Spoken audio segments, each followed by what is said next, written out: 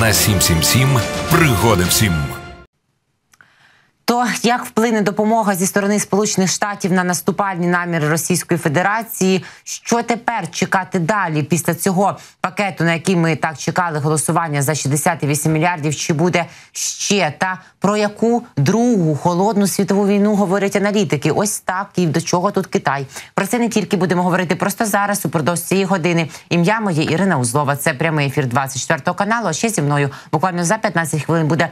Тарас Загородній, політехнолог. Поїхали, друзі. В інституті вивчення війни оцінили вже не вперше, вони вже другу добу над цим працюють. Чи зможуть збройні сили України зупинити просування росіян після отримання допомоги від Сполучених Штатів Америки? Окупанти ймовірно активізують поточні наступальні операції, ракетні удари та атаки безпілотниками. Збройні сили України зможуть призупинити наступ окупаційної армії за умови швидкого надходження допомоги штатів. Як повідомляють експерти інституту вивчення війни, днями голова комітету з розвідки Сенату США Марк Ворнер анонсував, що зброя, серед якої атака МС може бути доставлена до України до кінця наступного тижня. Станеться це за умови, що Сенат ухвалить законопроєкт про додаткові асигнування 23 квітня. Вже тобто завтра, вівторок. А президент США Байден підпише його 24 числа. Президент Володимир Зеленський заявив 21 квітня, що саме швидка доставка озброєння допоможе силам оборони стабілізувати лінію фронту і перехопити ініціативу. Почуємо. Інститут вивчення війни продовжує оцінювати, що українські війська можуть зазнати додаткових невдач у найближчі тижні, очікуючи на безпекову допомогу Сполучених Штатів, яка дозволить Україні стабілізувати фронт. Але вони ймовірно зможуть притупити поточний російський наступ, якщо припустити, що американська допомога надійде швидко. Окупанти ймовірно активізують поточні наступальні операції, ракетні удари та атаки БПЛА у найближчі тижні, щоб використати вікно, яке виникло через обмеження матеріальних засобів для ЗСУ. Хороша новина у Bloomberg спрогнозували повернення України до форми активної оборони. Пакет військової підтримки штатів допоможе Україні стабілізувати лінію фронту та повернутися до форми активної оборони. Але якби допомога з боку партнерів була потужнішою, наша держава могла б зазнати значно менших втрат. Таку думку після голосування в палаті представників Конгресу США висловив професор стратегічних досліджень в університеті Сент Ендрюса в Шотландії Філіпс О'Брайен. Повідомляє Bloomberg. Однак, принаймні зараз значною допомогою США українці зможуть стабілізувати лінію, повернутися до форми активної оборони. Зазначив він. Крім того, як зауважує видання перед голосуванням у конгресі новину про військову допомогу для України прокоментував український артилерист, який представився Тарасом. Тарас каже, це хороша новина з боку штатів, щоб підтримати військовий дух навіть до того, як допомога надійде. Висловився військовий. Але якби допомога надійшла раніше, додав він наші втрати могли б бути меншими. Президент України Володимир Зеленський в інтерв'ю виданню NBC News висловив сподівання, що обіцяна зброя надійде до України вчасно, і наша армія зможе відбити ворога та зруйнувати його плани щодо масштабного наступу. Наразі за його словами Україна готується до великого наступу Росії, який держава-агресор планує на кінець травня, початок червня. Вже до 9 травня Кремль розраховує взяти під контроль часів яр на Донеччині, але в них це не вийде. Прогнозують наші військові аналітики. Водночас є інший матеріал Bloomberg, Він менш оптимістичний. Допомоги штатів Україні недостатньо для наступу. Пише Bloomberg. Допомога США Україні на суму понад 60, точніше 68 мільярдів доларів, допоможе зміцнити оборону, але без додаткових ресурсів вона навряд чи стане вирішальним фактором у зміні ходу війни. Пише Bloomberg. Затримки в Конгресі США, які тривали 6 місяців, призвели до того, що українські військові зіткнулися з серйозним дефіцитом боєприпасів і особового складу, що використовували російські окупаційні сили. Микола Білівськов, науковий співробітник Національного інституту стратегічних досліджень, зазначає в інтерв'ю Bloomberg, що така допомога дасть змогу Україні провести ефективну оборону, уповільнити просування російських військ і знизити втрати. Однак для наступальних операцій знадобиться додаткова підтримка, що може виявитися складним завданням для штатів через опір республіканців у конгресі, які можливі і в майбутньому. Важливим питанням залишається, чи буде і в якому обсязі продовжено допомогу у році 2025-му і далі з огляду на стратегію Путіна щодо вичікування, каже Білісков. Джерела видання також повідомляють, що Німеччина цього тижня наполягатиме на своїх європейських союзниках, включно з Францією і Італією, щоб вони активізували постачання систем протиповітряної оборони для та компонентів для України. Аналітики американського інституту вивчення війни попереджають, що навіть за умови швидкої доставки американської військової допомоги складнощі з транспортною логістикою можуть затягнути початок і впливу на фронт на кілька тижнів. Ситуація на лінії фронту може погіршити в цей період, особливо якщо російські війська посилять свої атаки, прагнучи скористатися часом до надходження нової допомоги зі сполучених штатів Америки. Додають аналітики. Ну бачите про те, що складний буде кінець травня, і початок червня, говорить і головний розвідник країни Кирило Буданов, але водночас каже, що Україна не програє. Між тим є інша думка фахових аналітиків та військових експертів, які кажуть, що насправді жодних проблем з логістикою поставок. Допомоги зі сторони сполучених штатів головне озброєння не буде, тому що Пентагон давно готовий. По перше, всі все сформовано. Списки є запаковано. Ми так розуміємо. Юрій Рашкін, політичний та громадський діяч зі сполучених штатів Америки, буквально напередодні спілкувався зі мною. Дивіться наше інтерв'ю. До речі, на Ютубі 24-ї каже: а хто його знає? Може, зброя вже уже взагалі дорогою до України. А дійсно, головне, щоб росіяни про це все не знали. Тому а з іншої сторони жодних поста проблем з логістикою не має виникати. Є залізниця, є в Німеччині зокрема також е, запаси озброєння Сполучених Штатів Америки. Тому навряд чи затягнеться на якісь місяці. А ось цей проміжок, поки Росія ще буде в своїх конвульсіях останніх атакувати, ми точно протримуємося. Столтенберг заявив, що затримка з допомогою штатів Україні таки мала наслідки. Генеральний секретар НАТО Єн Столтенберг стверджує, схвалення палатою представників Конгресу США пакета військової допомоги Україні не було запізнилим, але затримка, та яка була мала реальні наслідки. Хоча ми думаємо, що і велика ця затримка. Про це генсек НАТО сказав в інтерв'ю телеканалу MCNBC, Повідомляє Європейська Правда. Столтмер зазначив, що ситуація на полі бою в Україні є наразі дійсно складною, а все тому, що російські окупаційні війська, зокрема, мають перевагу в боєприпасах, тоді як українські сили змушені їх заощаджувати. Українці вже чотири місяці гірше озброєні. У росіян було набагато більше боєприпасів. а Україна була змушена нормувати їхнє використання. Ще не пізно, але звичайно, затримка призвела до реальних наслідків. Українці відчувають нестачу в артилерійських снарядах у співвідношенні 1 до 5 і навіть 1 до 10, залежно від ділянки лінії фронту. При цьому українці продемонстрували величезну майстерність у захисті своєї країни. Захід також бачить, що через нестачу систем протиповітряної оборони Україна стала збивати менше ракет, якими РФ атакує українські міста. Він також прокоментував публікацію видання Політіко щодо можливої відправки додаткових військових радників до України. За словами Єнса Столтенберга, досі немає планів щодо бойової присутності НАТО в Україні. Однак країни альянсу мають право допомагати Україні, і це не робить НАТО стороною конфлікту. Але звичайно, у кількох союзників по НАТО є чоловіки, жінки у військовій формі посольствах, які дають поради. Просто ось так додав він. Республіканці погрожують Джонсону відставкою. Пише CNN. Джонсону майже напевно доведеться покладатися на демократів у своєму порятунку. Пише видання. Бачите, шоу продовжується.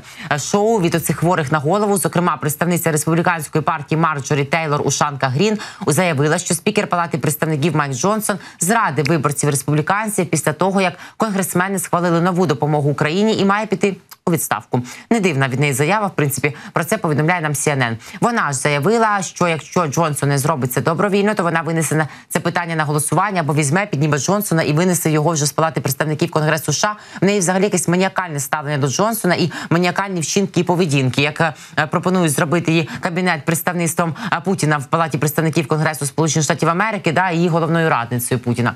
Спікерство Майка Джонсона закінчилося, каже вона, йому потрібно вчинити правильно, піти у відставку і дозволити нам рухатися вперед у контрольованому процесі. Якщо він цього не зробить, він буде звільнений. Сказала Грін Грін, правку якої до законопроєкту 8035, де голосувалася допомога Україні у розмірі 68 мільярдів доларів. США. Грін пропонувала по всіх пунктах обнулити це до нуля. Ну не при собі людина. Вона повністю провалилася і підтримало найменше взагалі представників. Палати представників Конгресу США е, Грін додала, що вона не єдина виявляється, хто дотримується такої позиції, або і це здається. Якщо Грін та її прихильники виконають свою погрозу змусити голосувати за усунення його, тобто Джонсона, з посади спікера, то Джонсону майже напевно доведеться покладатися на демократів у своєму порятунку. Пише видання Трамп програв битву за Україну в Конгресі і тепер може програти вибори. Пише The Atlantic. Окрім своєї пристрасної любові до Путіна, Трамп має ще чимало приводів дратувати республіканців. Дональд Трамп поступово втрачає вплив у республіканській партії яскравим свідченням, чого стало ухвалення пакету допомоги для України в нижній палаті конгресу. Це також вказує на зростаючу ймовірність поразки Трампа на президентських виборах в листопаді цього року. Пише видання The Atlantic. Там зауважують, що Дональд Трамп беззастережно перебуває і домінував у республіканській партії протягом 9 років. Хоча його погляди і риторика часто суперечили основам політичної платформи партії. Це зокрема стосувалося незрозумілої для решти республіканців любові Трампа до Росії і Путіна.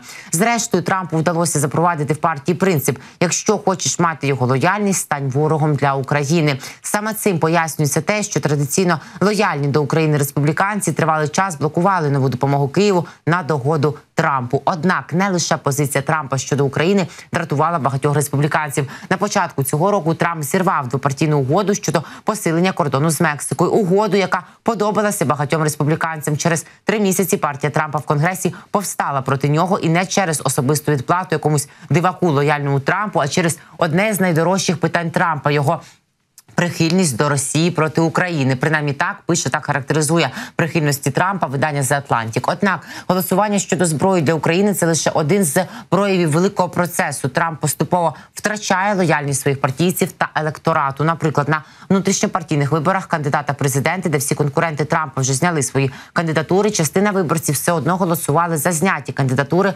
аби тільки не за Трампа. Також Трамп втрачає прихильність спонсорів людей, які добровільно жертвують гроші на фінансування передвиборчої кампанії симпатичного їм кандидата. Зараз передвиборчий штаб Байдена має вдвічі більше грошей ніж штаб Трампа, який ще нещодавно вважався майже гарантованим переможцем на осінніх виборах. Одночасно з цим поступово тануть ті проблеми Америки, на яких Трамп планував обскакати Байдена в листопаді, про що говорив Тізенгаузен буквально.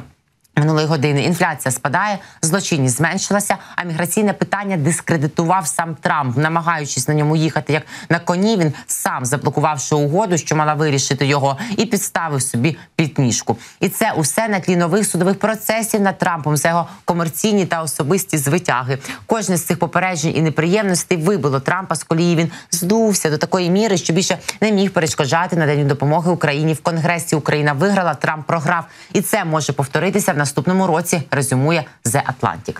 Вона кричуще проста в офісі президента. Відповіли на закиди ще одного проросійського маска про відсутність стратегії виходу з війни. Американський мільярдер Ілон Маск, який часто вживає деякі препарати, заборонені людським глуздом, заявив, що його нібито хвилює те, що в Україні, на думку маска, великого геостратега і геополітика, немає стратегії виходу з війни. В офісі президента нагадали маску, що стратегія максимально проста, просто easy, easyєр не буває. Виведення усіх російських окупаційних військ з нашої території. Ось наша стратегія.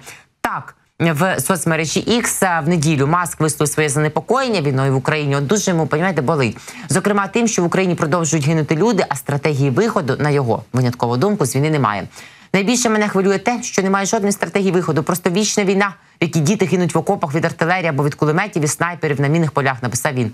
Заступник глави офісу президента України Михайло Подоляк ем, за словом в кишеню ніколи не лізить і тут не змовчав. Відреагував практично блискавично і зазначив, що коли хтось із глобальних впливових осіб говорить про відсутність стратегії виходу з російсько-українського конфлікту, то доводиться вкотре дивуватися дефіциту простої логіки в сучасному світі. Він наголосив, що реалістична об'єктивна стратегія виходу є кричущо простою. Вихід російських окупаційних військ з України Подоляк підкреслив, що всі стратегії немає нічого складного і немає жодного сенсу вигадувати іншу.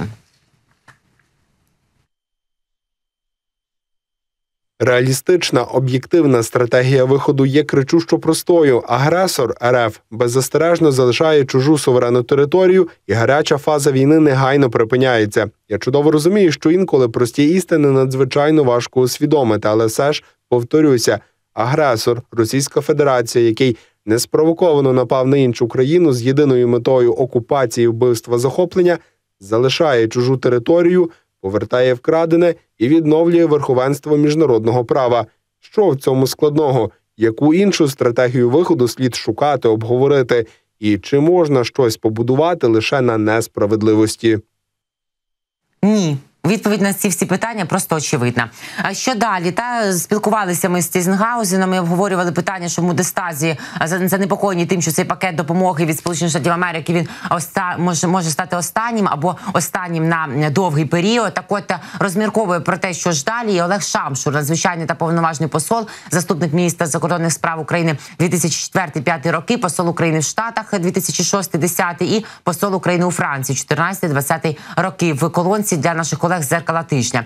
Втім, каже, безпроблемне продовження двопартійної підтримки України дійсно не можна вважати на майбутнє гарантованим. Передусім, це пов'язано із ситуацією в республіканській партії. Бачите, що там коїться, тільки що вам розповідала, та її подальшим дрейфом у бік ізоляціонізму під впливом настроїв партійної бази, так би мовити. Ухвалення допомоги Україні було забезпечено цього разу завдяки голосам демократів. Їх було 210. Водночас республіканська фракція виявилася розділеною майже навпіл, про що ми теж зауважували. І більшість 112 конгресменів республіканців проголосувала проти. Виразником і активним провідником антиукраїнських поглядів є ось це крайнє праве крило партії Мага, яке не лише сприймає підтримку України крізь призму політичної боротьби з демократами, а й активно транслює аргументи російської пропаганди. Достатньо було послухати виступ під час дебатів. Згадує тут Шамшур теж скандальну депутатку Марджорі Ушанку Тейлор Грін. Крайні праві республіканці є правомірними правовірними трампістами в дні, що передували голосуванню в палаті, складалося враження, що Дональд Трамп пом'якшив свою позицію проти ухвалення додаткового безпекового фінансування для України. Цікаво, що ми прочитаємо в його соціальному акаунті найближчим часом. Ставить питання Шамшур. На сам кінець згода конгресу на виділення фінансових ресурсів, необхідних для продовження допомоги Україні, не знімає з порядку денного принаймні дві проблеми, без яких вирішення і без яких неможливе закінчення війни проти російської агресії на прийнятних для України умовах. По перше, відсутність у штатів та заходу загалом визначеності стосовно глибини поразки Росії, що безпосередньо впливає на багато компонентів допомоги, яку отримує наша держава, та часто сприяє розпливчатості політичних меседжів, які ретельно аналізують у Кремлі. По-друге, необхідність радикального скорочення фази обговорення ініціатив та створення коаліції з допомоги Україні і навпаки прискорення реалізації затверджених заходів. За словами самого Джо Байдена, чинник часу має вирішальне значення. Дуже прикро, що ці питання залишаються актуальними на третьому році війни НАТО з огляду на українські жертви та російське просування на фронті. Лідери Китаю благословили вторгнення Путіна в Україну. Пише Блумберг. Друзі, на сьогодні день Блумберга. В мене зокрема, як бачите, тому що багато публікацій, які і аналізують ситуацію. На міжнародній арені, зокрема, і дають розуміння, що нам робити далі. А також є чимало аналітики там корисно, яка сьогодні актуальна в тих темах, які в яких ми знаходимося в інформаційній інформаційному просторі. Так, от там вважають, що друга холодна війна розгортається швидше ніж перша. Штати не готові проти до цього протистояння. Так вважає історик Ніл Фергюсон. На тлі відкритої атаки Ірану на Ізраїль та тиску ізоляціоністів, ось тих самих в американському політикумі під час ухвалення пакету військової допомоги Україні, Ізраїлю та Тайваню. Колумніст Блумберг, історик та письменник Ніл Фергюсон пише про те, що зазначає, що ми є свідками формування та консолідації тієї осі, про яку ми з вами давно говоримо: Китаю, Росії та Ірану ще би тут КНДР додати, як, наприклад, генсек НАТО Єн Столтенберг каже, що це альянс взагалі авторитарних держав Росія, Іран, КНДР Китай. На думку Фергюсона, те, що ми бачимо, аналогічно тому, що бачили люди перед другою світовою війною, коли об'єдналися нацистська Німеччина, фашистська Італія та імперіалістична Японія, щоб сформувати свою таку вісь у 1936-37 роках, і потім у 1939 році, коли об'єднали свої зусилля Адольф Гітлер та Йосиф Сталін. Лідери Китаю благословили вторгнення в Україну. А що ще означає взаємна обіцянка партнерства без обмежень? Питає він, як і підтримка президента Сі Цзіньпіня має вирішальне значення для Путіна з тих пір, як його сили вторгнення були відбиті з околиць Києва два роки тому. Дійшов висновку Фергюсон. Він вважає, що у цю вісь також складається те, що Тегеран підтримує війну Росії проти України, постачаючи тисячі безпілотників і ракет, подібних до тих, що були запущені проти Ізраїлю минулими вихідними. Росія в свою чергу припускає він допомагає зміцнювати протиповітряну оборону Ірану. В свою чергу Китай не лише є одним з основних покупців іранської нафти. Міністр закордонних справ Китаю Ван телефонував до Тегерана одразу після нападу на Ізраїль, щоб похвалити, а не засудити своїх іранських колег.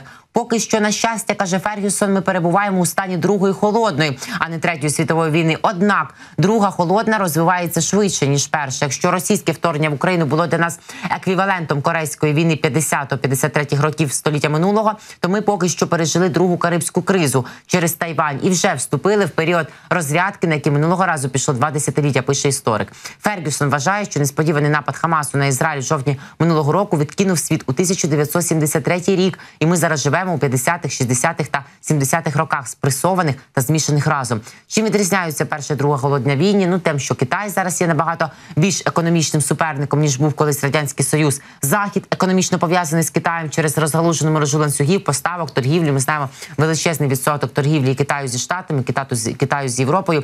По третє, штати набагато слабші з точки зору з точки зору виробничих потужностей, оскільки.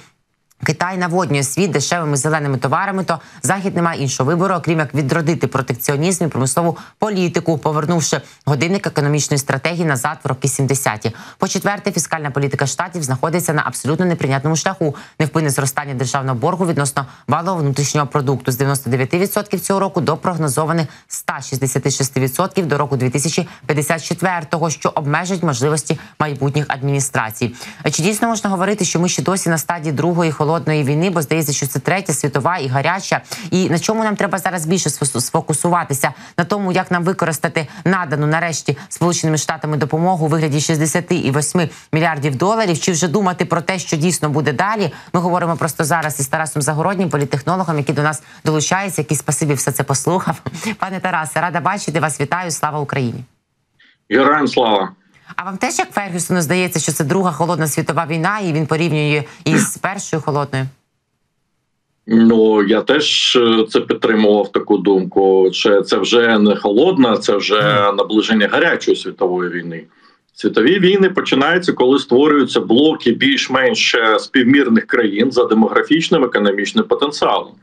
Так було під час Першої світової війни, і так було під час Другої світової війни. Зараз ситуація дуже нагадує якраз Першу світову війну, коли такі амбіційні держави кидають виклик е, державам, які е, які на її думку займають забагато місця в цьому світі, так і економічного, і е, і, і, і політичного, і так далі.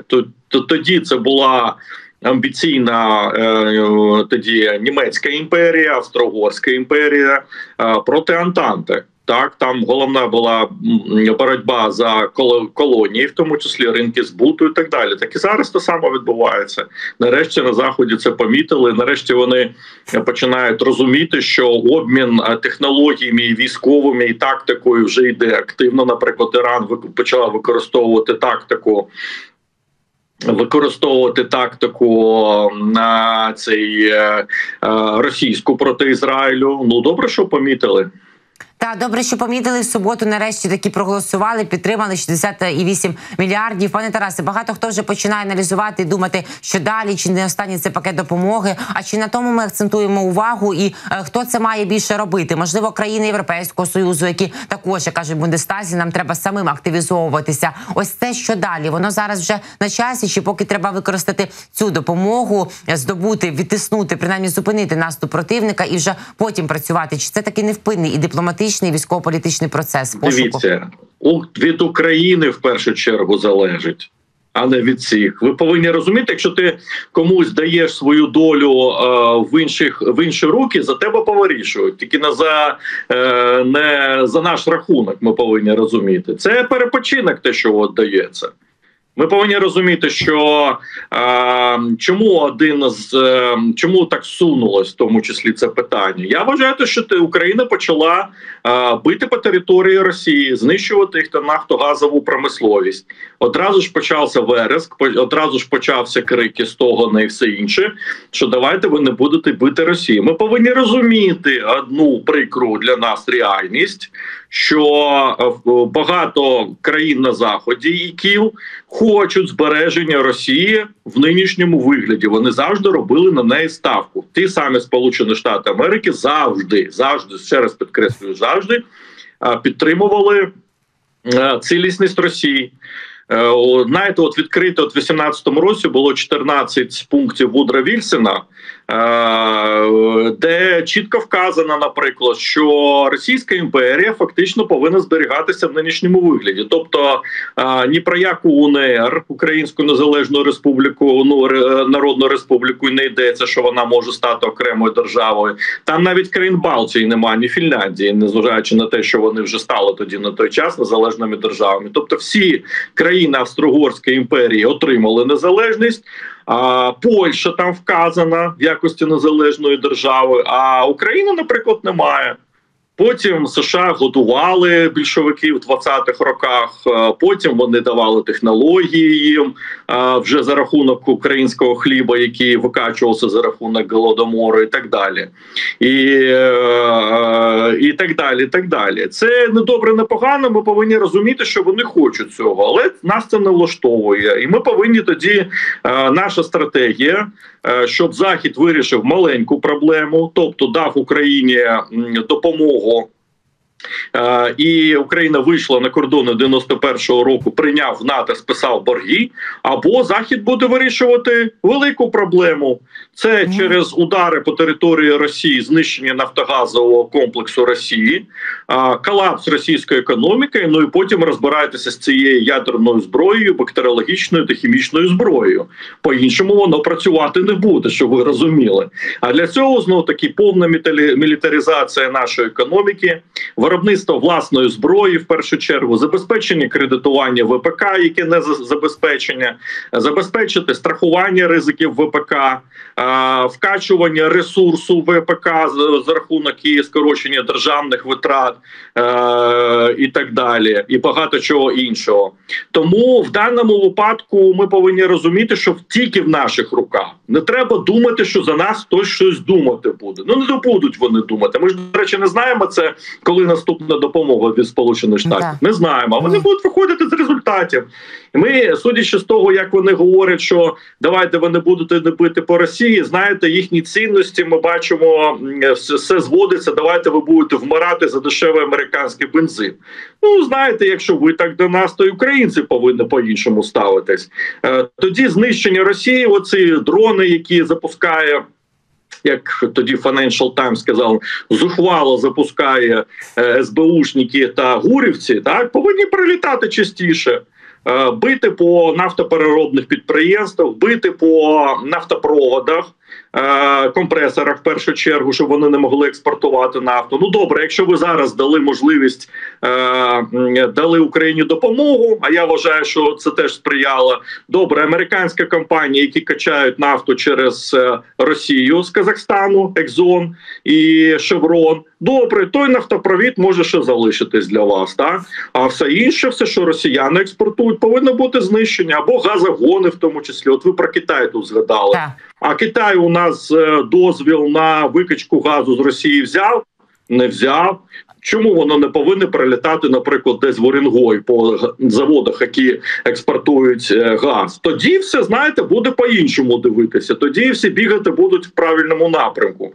І зброя, зброя ще раз зброя. Ні на кого не можна сподіватися. Вірити нікому не можна. Вірити можна тільки в себе та свою армію та свій народ. От на чому ми повинні концентруватися і не вірити нікому на всі ці слова е, і так далі. Особливо коли знаєте, нам почали говорити, що. Удари по НПЗ це порушення енергетичного балансу. Що значить енергетичного балансу? А, а я взагалі така Нічого, да. коли підтримували, коли підтримували Ізраїль, тоді ж ОПЕК створилося, ціни в 10 разів злетіли. Нічого, пережили, переживете. Так що не треба, знаєте, нам тут розповідати всі ці е, казки, е, що там без Росії спокійно можна пережити на нафтогазовому ринку. Якщо Росія почне розпадатися, а це реальне, це не знаєте, не та лірика, яка часто у нас лунає, там національно визвольні рухи і так далі. І немає там національних визвольних рухів, ну окрім Чечні може бути. А от е, розпад нафтогазової системи Росії це вже серйозно, тому що це е, Москва. Москва може е, Москва може припиня- не може викачувати ресурси, а це вже розпад радя, е, ну, радянської. Це фактично повторення історії з радянським союзом. Але це буде їхня проблема, так. Тому і допомагайте тоді нам, тому що ми створимо вам більшу проблему. Як до речі, робив Ізраїль, як він добувався в 73-му році допомогу від Сполучених Штатів Америки. Вони ж теж не дуже хотіли їм допомагати. І вони сказали: шановні, у нас є ядерна зброя, так. Якщо ви нам не допомагаєте, ми зараз починаємо ядерне бомбардування Каїру. Швидко все вирішилось. Буквально протягом 9 годин були підняті всі літаки, які тільки можливо, і була надана е, е, допомога Ізраїлю. Так і Україна повинна мислити е, прагматичними, чіткими, чіткими критеріями. У них є вибір, а у нас вибору немає. У нас питання виживання.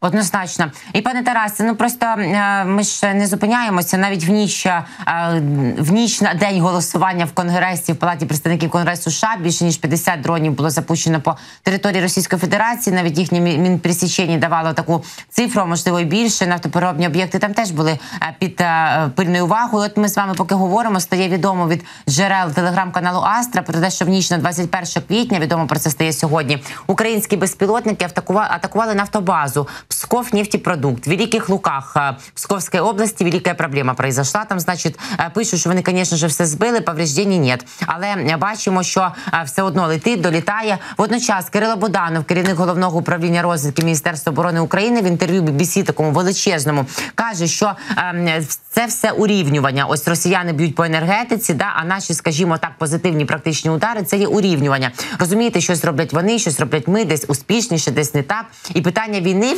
водночас він каже, вирішують не удари. А як і в стародавні часи, поки людина з прапором не зайде на територію, нічого не зміниться. Хочете мільйон дронів туди відправ, хоч 100 тисяч артилерійських снарядів. Але ж такі удари вирішують питання війни, принаймні в такій іншій геополітичній дипломатичній площині, якщо використовувати це як дійсно ну так. Так, добрим словом і пістолетом більше ніж добрим словом. Ми повинні вирішувати. Плюс плюс чого да. бігати, чого бігати, бігати почали по Вашингтону всі, бо да, зачепили інтереси. Бі, інтереси зачепили. І одразу ж дивіться, як швидко вони почали вирішувати проблему з допомогою. Так що щось у них там почало ну зійшлися зірки, в тому числі, але в тому числі там вже ж почитається цю Financial Times, пам'ятаєте першу замітку. Там же що йдеться? Про партина російська. Пам'ятаєте, ми теж в вашому ефірі. Я теж говорив, що партина російське це смерть Кащея, бо вони там експортують нафту. Крик, стогін і все інше. Так тепер Україна по-іншому починає розмову. Угу. Шановні Шеврон, Екзон, ви хочете качати нафту? Хочете, так? Так, будь ласка, збирайтеся, йдіть до американської адміністрації і вирішуйте свої проблеми. Це не наша проблема, а ваша проблема тоді знаєте, щось по-іншому все починається рухатись. Чому так мало допомоги? А чому не F-16, а чому не F-35 досі нам не дано? Да, да, так Ізраїль завжди вчиняв, і так він вижив в тому числі. Да, і зараз 99% на ним збивається. А ми досі, як Зеленський інтерв'ю бразильські так, медіа каже, так, а нам коли ні, а чому а чому збивається? Вибачте, а, а чому Іорданія пустила в простір а, своїх? А знаєте чому? Тому що в 67-му році Іорданія хотіла напасти на Ізраїль. Ізраїль довбанув так, що вони зрозуміли, що треба дружити. А чому зараз літають, захищають Сполучені Штати Британія, які 20 років наклали ембарго на постачання зброї взагалі з Ізраїлю 48 по 67 рік. Тому що Ізраїль довів, що він може бути крутим пацаном. От і все.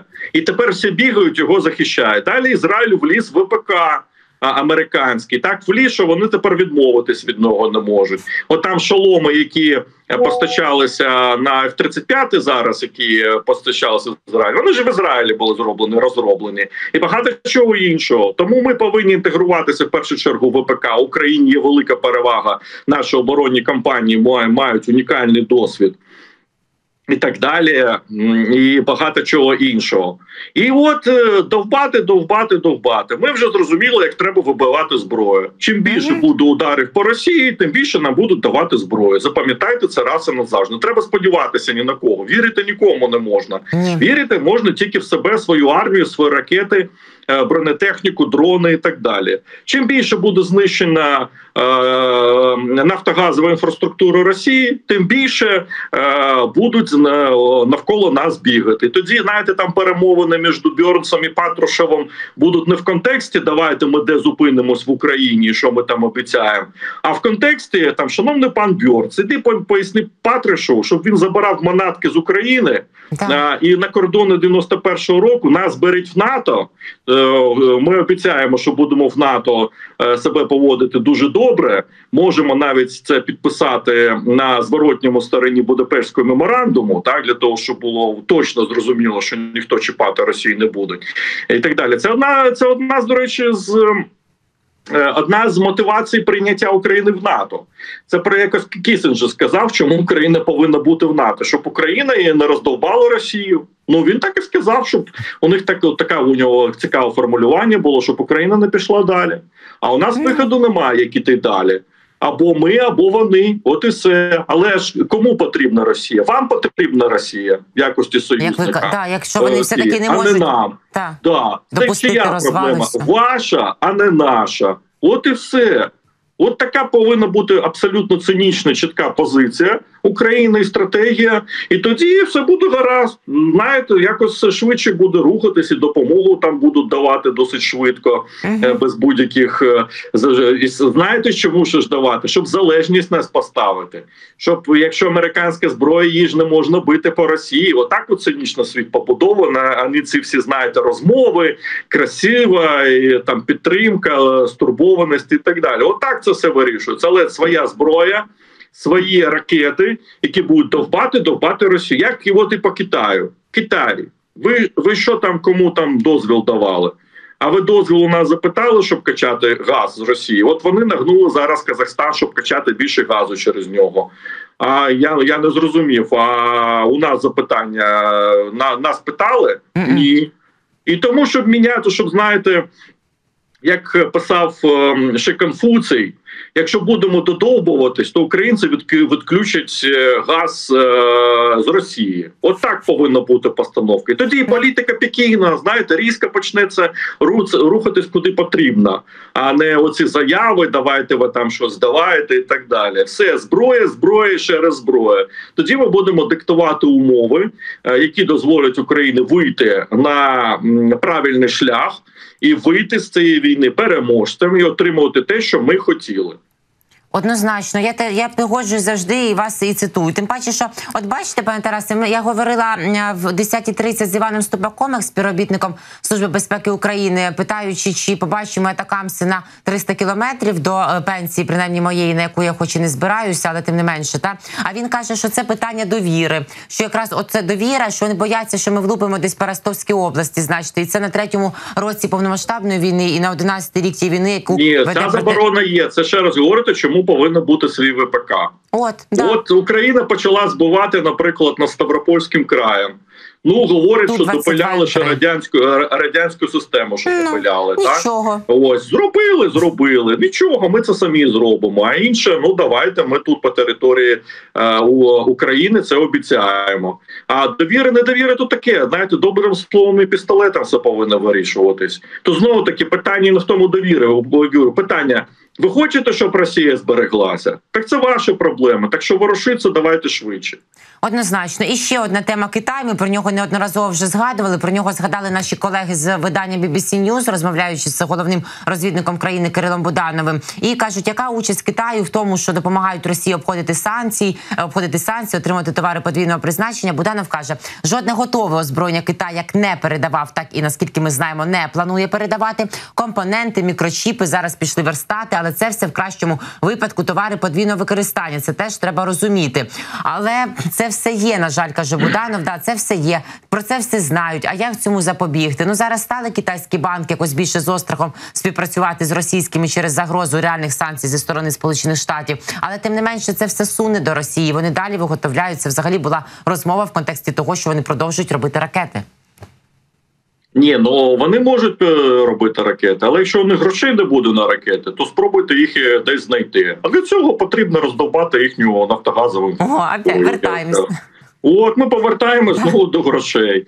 Це коли у них почнуться незворотні процеси в Росії, а те, що почався цей вереск навколо України, значить Україна наблизилась до якихось критичних точок для Росії. Американські корпорації різко їм стало погано від перспектив того, що буде роздовбаний нафтопровід, який веде е, з Казахстану до е, Новоросійська. Ну стало погано. Бачите, якось всі забігали. Там різка допомога з'явилася і все інше. Значить, треба продовжувати в такому стилі. Тобто, добре, якщо траш, тобто так, є гроші, да, є допомога. Ну, наприклад, нафтопровід е, цей поки що живий для американської нафти, але для російської ми нічого не обіцяти не можемо, так і для газу, в тому числі.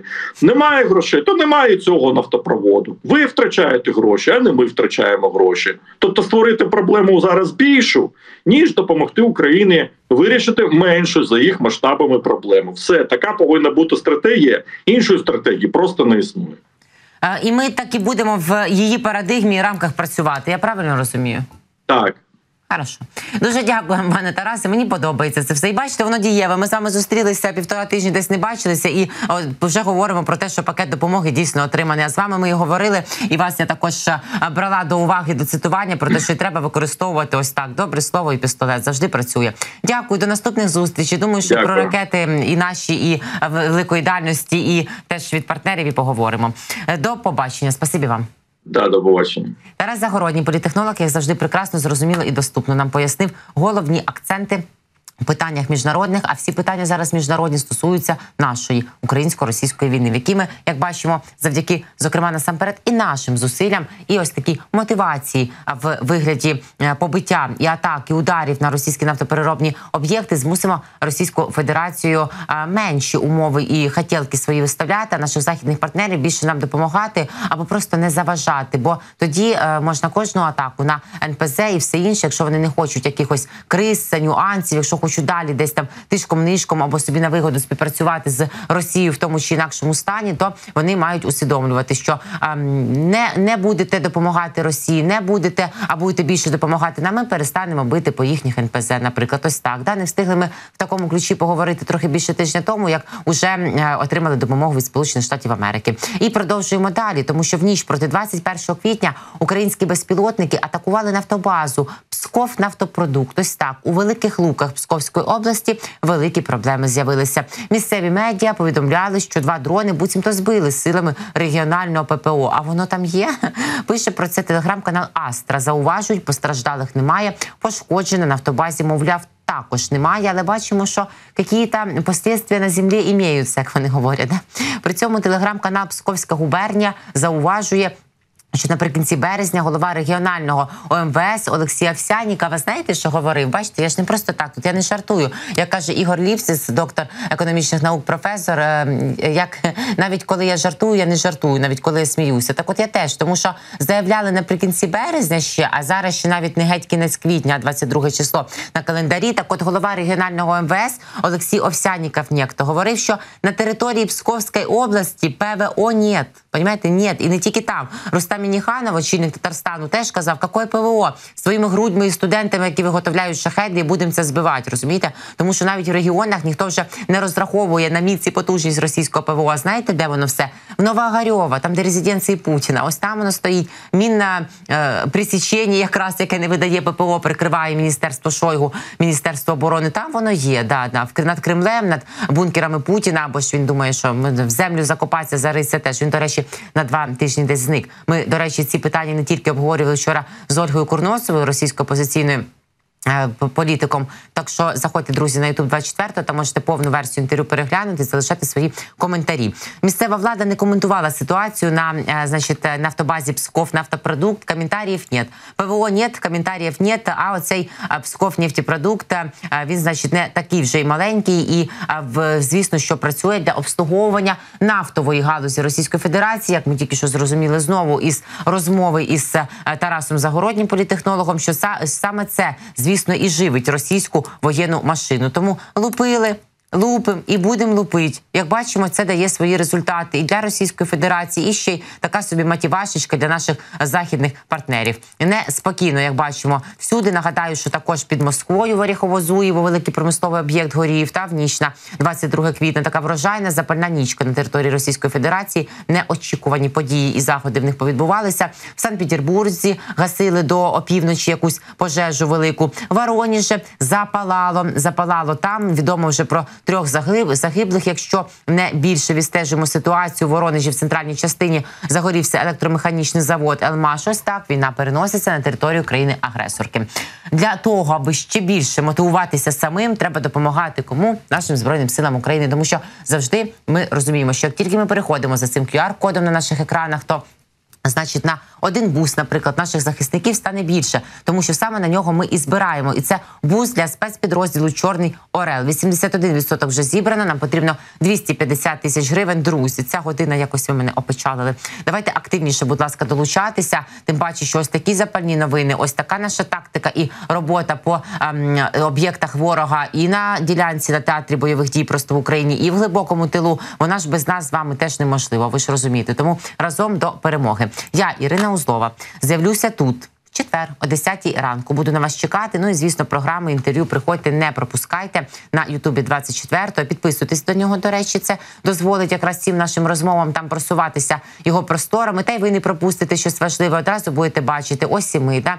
дзвіночки, нагадування теж собі ставте. Ну а зараз про те, що отак, одразу після голосування за пакет допомоги нам да виявляється, що до України прибула до Києва, до української столиці двопартійна делегація Конгресу США. Про що будуть говорити? Я впевнена, в наступних годинах буде обговорювати моя колега Анастасія Норісина. Вона вже готується. Кілька хвилин на пауза і повертаємося.